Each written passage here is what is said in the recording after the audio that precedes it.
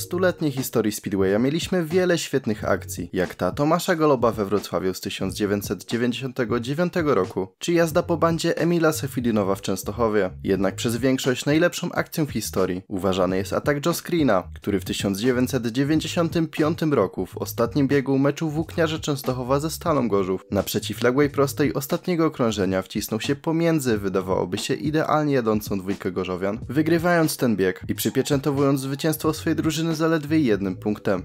Po więcej Speedwaya subskrybuj kanał Strefa Żużla razem z dzwonkiem.